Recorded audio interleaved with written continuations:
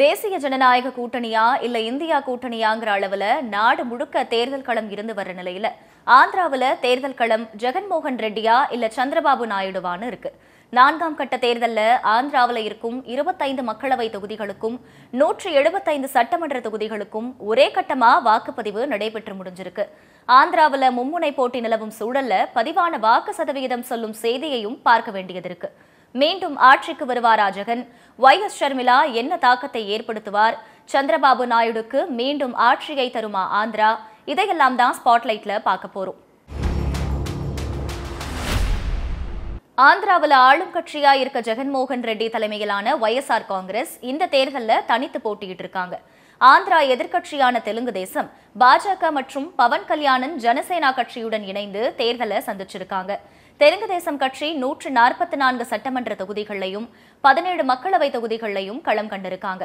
அதே போல பாஜக ஆறு மக்களவை தொகுதிகளையும் பத்து சட்டமன்ற தொகுதிகளையும் போட்டியிட்டு இருக்காங்க ஜனசேனா இரண்டு மக்களவை தொகுதிகளையும் இருபத்தோரு சட்டமன்ற தொகுதிகளையும் போட்டியிட்டு இருக்காங்க இவர்களை தவிர காங்கிரஸ்ல இருந்து ஒய்எஸ்ஆர் காங்கிரஸ் பிரிந்ததுக்கு அப்புறமா ஆந்திராவில் பலம் இழந்துச்சு காங்கிரஸ். காங்கிரசுக்கு புத்துயிர் ஊட்டும் முயற்சியா ஜெகனின் தங்கையான ஒய் எஸ் ஷர்மிளா தலைமையில களம் கண்டாங்க.